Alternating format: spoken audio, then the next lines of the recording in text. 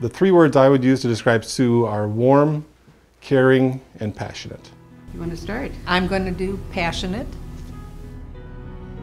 Compassionate, passionate, collaborative, uh, funny, tenacious, loving, wise, smart, good humored.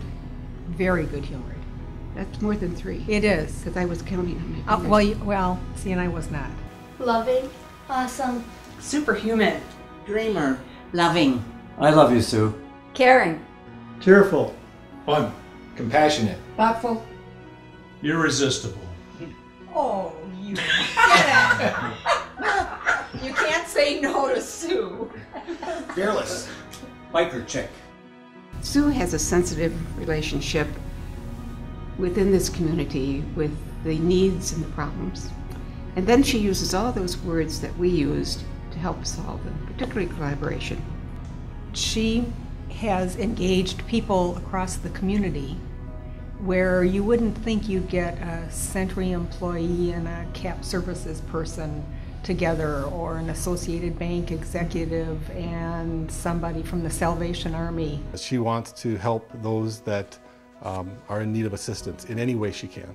I've been with her on so many occasions where we'll meet people that she knows, lots of times where she doesn't know people, and she is the most warm, inviting person as far as just one-on-one contact with, with folks. You see it when, when we have people, uh, we have people that uh, clean our office from uh, CIC, from Community Industries. Um, just the connection she makes with those folks, everyone around her, she's just so caring. There are probably, we could count on one hand, the number of business people in this community who have not been hugged by Sue Right? or have not seen her cry, Cry. tears of Mhm. gratitude and appreciation. Um, and I'd hate to try to name those people because there aren't I many don't think. I could find them. There aren't no. many of them. She always speaks from the heart. She's honest. Um, and that honesty comes through when she talks to you and when she explains why it is she wants you involved with whatever project we're doing at United Way. And when you go, no, that doesn't work. No, You- no, No. it doesn't know, work. It isn't in her vocabulary. it's not in her, her vocabulary, no. Um, she really cares about individuals in Portage County. And that caring comes through personally in her leadership role with United Way and as she works with volunteer and staff members. Mm-hmm. Um, caring is one of the, did we put that in the list of I don't think we words? did.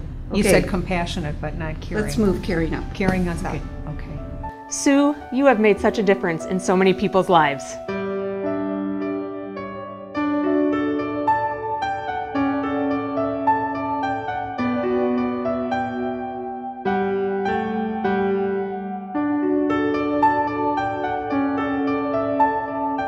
Words can't express how much we appreciate what you've done.